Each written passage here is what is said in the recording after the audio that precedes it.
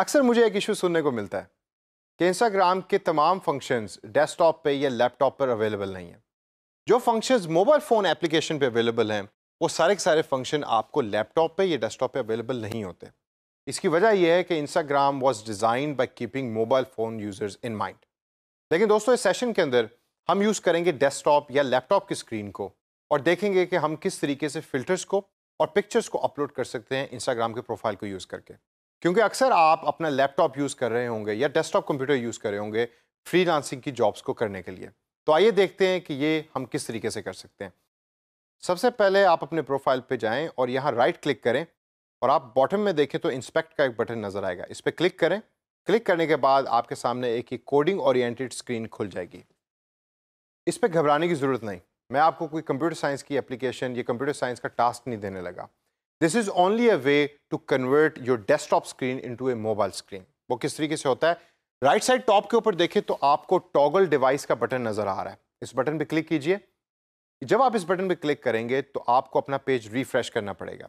जब आप रिफ्रेश करें तो आप देखें कि आपके सामने वही स्क्रीन जो लैपटॉप की थी या डेस्कटॉप इंटरफेस की थी, वो मोबाइल फ़ोन के अंदर कन्वर्ट हो गई है।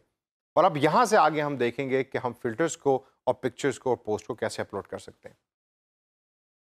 बॉटम के अंदर अगर आप देखें तो आपके सामने एक प्लस का साइन नज़र आ रहा है। इस पर आप क्लिक कीजिए। क्लिक करने के बाद आपके सामने डिफरेंट पिक्चर्स खुल जाएँगी। इनमें से कोई एक पिक्चर सेलेक्ट कीजिए और ओपन के इस बटन पे क्लिक करें। पिक्चर अपलोड करने से पहले इंस्टाग्राम आपको डिफरेंट ऑप्शंस देगा। ये जो डब्बे आपको नज़र आ रहे हैं पिक्चर के ऊपर दीज आर कॉल्ड ग्रेड्स इन ग्रेड्स का मतलब ये है कि जो उनसे पिक्चर आप पोस्ट करने लगे हैं, वो इस चार दीवारी के अंदर ही सिर्फ़ नज़र आएगी। तो आप अपनी पिक्चर अगर उसका साइज़ बढ़ा है तो उसको मूव अराउंड कर सकते हैं, जिस तरह मैं यहाँ कर रहा हूँ। और आप डिसाइड कर सकते हैं कि आपने उस पिक्चर में से कौन सा व्यू दिखाना है। तो मुझे ये व्यू पसंद है, मैं इसको यहाँ छोड़ूँगा।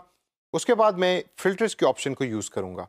फ़िल्टर का बटन बॉटम के अंदर आपको एडिट के साथ नज़र आएगा, उस पर आप क्लिक करें तो ये डिफरेंट फ़िल्टर्स आपके सामने इंस्टाग्राम आपको प्रोवाइड करेगा।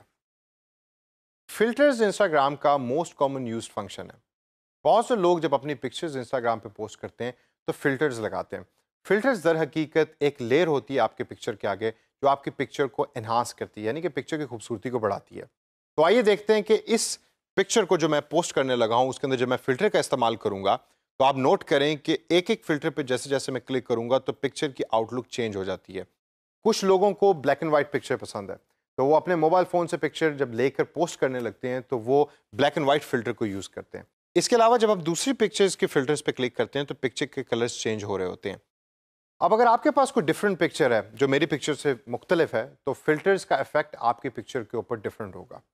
The reason why I am mentioning this filter specifically is because Instagram is mainly use only for filters और इन फिल्टर्स को यूज़ करके आप अपनी पिक्चर्स को जब पोस्ट करते हैं तो उसकी रीच भी बढ़ती है।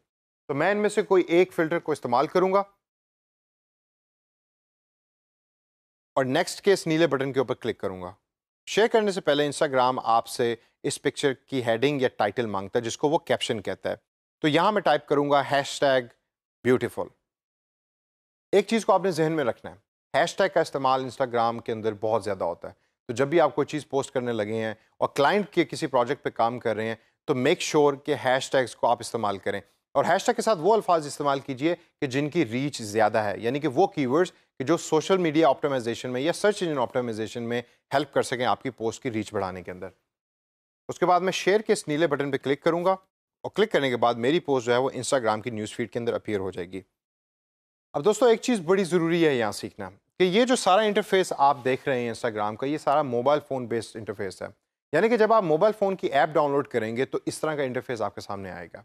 ये आपकी मर्ज़ी है कि आपने इंस्टाग्राम को डेस्कटॉप पे यूज़ करना है या लैपटॉप पे यूज़ करना है, या उसको आपने solely you want to use it on your mobile phone screen तो ये अब आप डिसाइड कीजिए।